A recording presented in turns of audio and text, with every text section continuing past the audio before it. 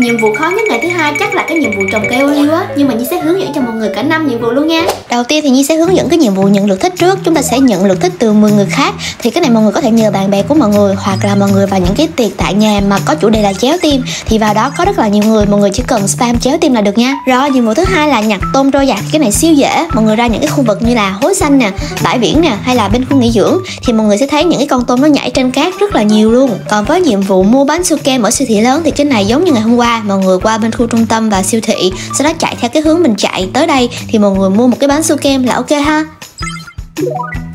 rồi, nhiệm vụ thu hoạch cây ô liu từ chậu cây thì mọi người lưu ý là những cái cây này nó chỉ trồng được ở cái ờ, chậu màu xanh dương, màu đen với màu xanh lá thôi nha. Rồi còn những ai mà không có chậu á thì mọi người sang cái khu vực camping và tới cái chỗ mà quầy bán vé này gặp hai cái nhân vật NPC đang mặc hanbok này để mà nhận chậu nha. Có rồi thì mọi người chỉ cần gieo cái cây ô liu này xuống. 35 tiền sao nha mọi người? Và mọi người sẽ cần tốn 2 tiếng rưỡi thì mới thu hoạch được. Và nhiệm vụ cuối cùng là câu cá cá vàng. Thì cái con này nó không có khó câu. Mọi người xem cái ờ, vị trí của nó có xuất hiện nè. Và mình thấy thì mình rất là dễ câu ở khu vực bãi biển ở ngoài plaza, nên là mọi người cứ ra đó quan cần lọc bắn ba là được nha. Và mọi người yên tâm là dù cá thường hay cá vương miệng thì game cũng chấp nhận hết ha. Nói chung nhiệm vụ mấy ngày này khá là đơn giản, nên là mọi người cố gắng làm để mà có thể nhận được vé My Melody and Kuromi rồi bóc thăm đồ xịn nha.